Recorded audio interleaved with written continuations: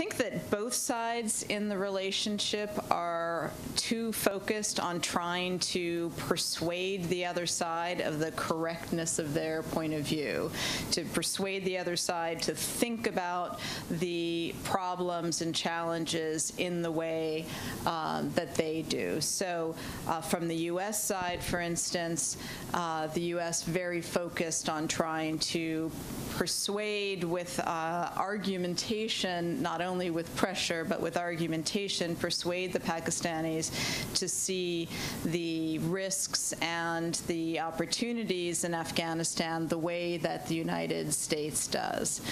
Uh, I liken this to a uh, to the problem of road rage. Uh, I think you're never going to persuade another driver that you were right and they were wrong. In fact, the only people who hear loud and clearly what your arguments are and have some understanding of them are the people in your own car. Uh, typically, your wife sitting next to you.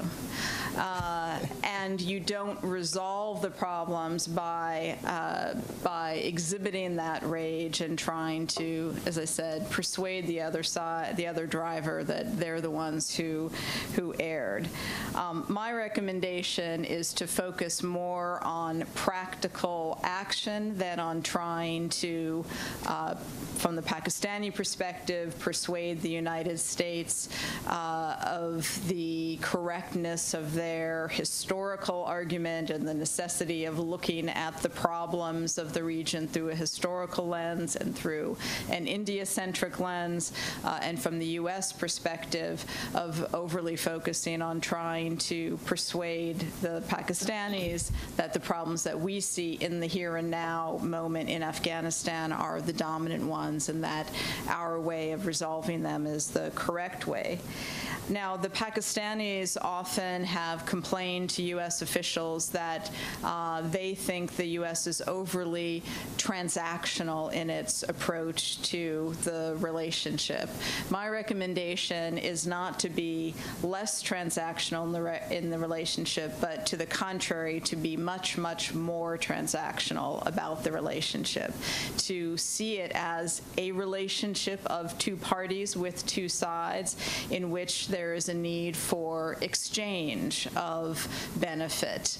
Uh, and in through that perspective, uh, I think what the United States needs to see is not only what are the ways to pressure Pakistan to take seriously uh, U.S. concerns, but to make a clearer case as to what is on offer for Pakistan. And I, I don't mean carrots in the sense of financial assistance. I mean, what is it uh, that the United States is prepared to do in terms of its strategy in the region and its vision of the relationship to attract the Pakistanis to something uh, that can be of mutual benefit.